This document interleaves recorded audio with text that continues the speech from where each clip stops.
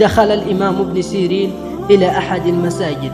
يقول فوجدت شابا عمره لا يتجاوز العشر سنوات واقفا يصلي وكأنه جذع نخلة من شدة خشوعه. فلما أكمل صلاته قلت له أقبل يا فلان ابن من أنت؟ قال أنا ولد يتيم ليس لدي أب ولا أم. فقال له الإمام أترضى أن أكون لك أبا؟ قال نعم ولكن بخمسة شروط.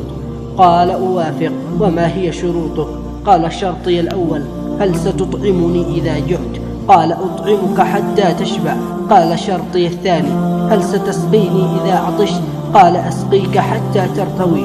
قال شرطي الثالث هل ستكسيني إذا عريت؟ قال أكسيك بأجمل الثياب.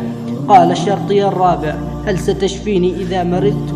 قلت أما المرض فسأقدم لك الدواء والعلاج والله يشفيك. قال شرطي الخامس هل ستحييني إذا مت؟ فقلت فأما هذا فلا فإن الموت والحياة بيد الله.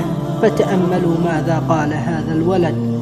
قال يا هذا إذ كنت لا تستطيع أن تشفيني إذا مرضت وتحييني إذا مت. إذا اتركني.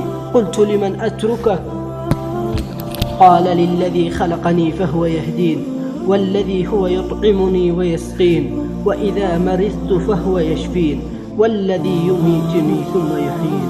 فقال الإمام لا إله إلا الله توكل على الله فكفاه فكفاه الله سبحانه وتعالى.